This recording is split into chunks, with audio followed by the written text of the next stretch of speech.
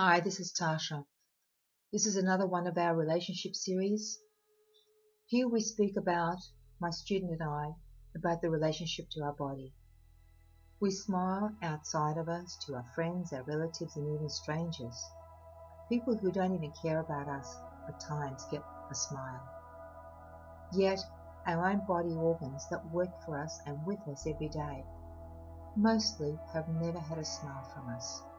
So here, my student and I are having a discussion on this. Have a listen.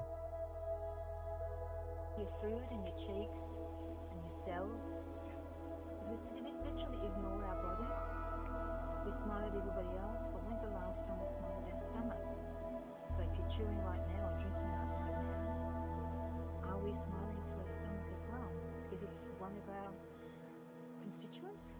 So therefore, the reality is, if we're not paying attention to our body and our organs and how we treat them, we're not really paying attention to our friends and relatives. And they in turn are not really paying attention to us because we're so disengaged from our own inner workings and our health and care for ourselves that we really don't know how to give to another anyway.